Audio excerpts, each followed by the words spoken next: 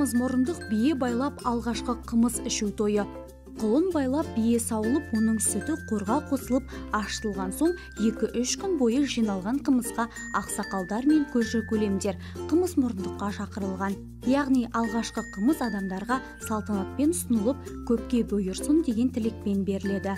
Ақсақалдар үй иесіне рахмет айтып батасын береді. Халықтың бұл дәстүрі де қонақжайлықты жомарттық пен мәрттікті бірлікті меңзейді.